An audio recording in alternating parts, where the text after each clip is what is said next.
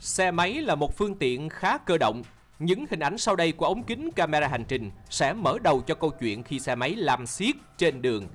Không khó bắt gặp hình ảnh chiếc xe máy chở hàng lao đi trên đường, chở theo phía sau một chiếc tủ lạnh công kênh. Người đàn ông này có vẻ rất thông dong khi đi sát phần đường gần giải phân cách. Rồi đột ngột rẽ trái, chẳng hề mở xi nhan báo hiệu.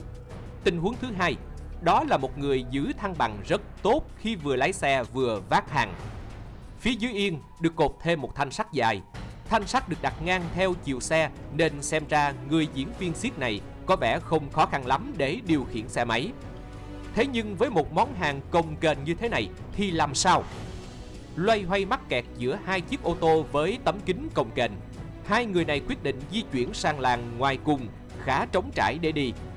Và ngay sau lưng họ là một chiếc xe tải trọng lớn đang lao đến.